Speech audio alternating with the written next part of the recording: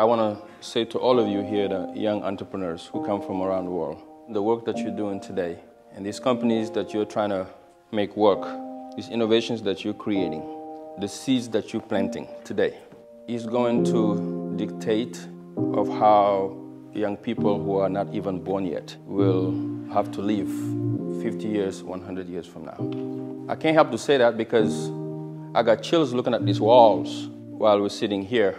I was just thinking about before even the civil rights movement, how African Americans, our own people, who were taken away from us in Africa. Couldn't even imagine driving next to this White House.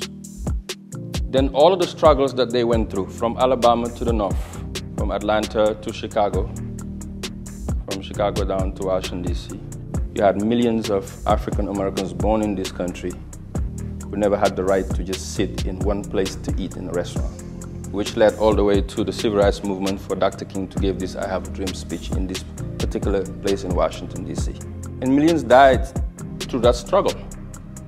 We've lost a lot of people who allowed us, people like me, who come from Kaolack, Senegal, to be able to bring you here to see sisters holding these kind of positions that look like us. People like you made that happen. People who had the courage to dream, people who had the courage to push the limits, to not take the status quo, who understood that how much is given, much is required.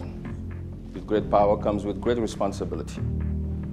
And they knew that they had to create a path for generations to come.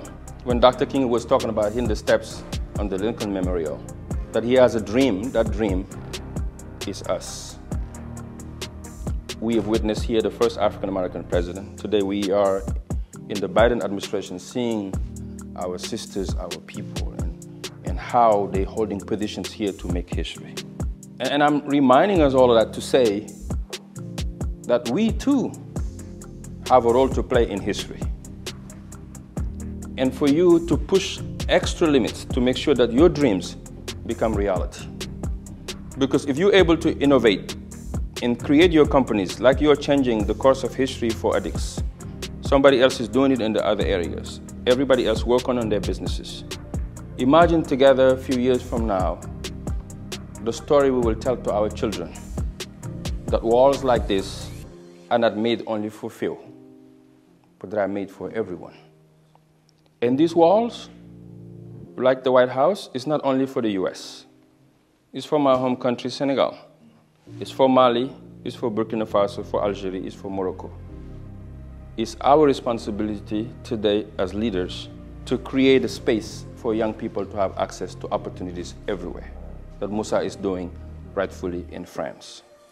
So I just want to leave you with that to know that we're not here just to take photos, but we are here to plant a seed.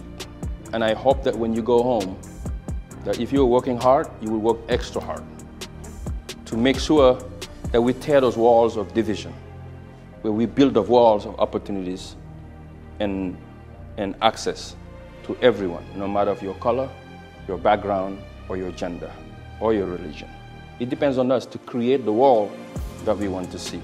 So I thank the White House, I thank the administration, I thank Musa and my good friend Ken, Andre, and sister, all of you for being here. God bless you. Let's the. Let's change the world, guys.